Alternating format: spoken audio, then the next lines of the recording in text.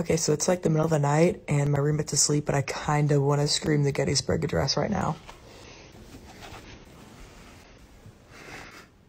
Four score and seven years ago, our founding fathers brought forth on this continent a new nation conceived in liberty and dedicated to the proposition that all men are created equal.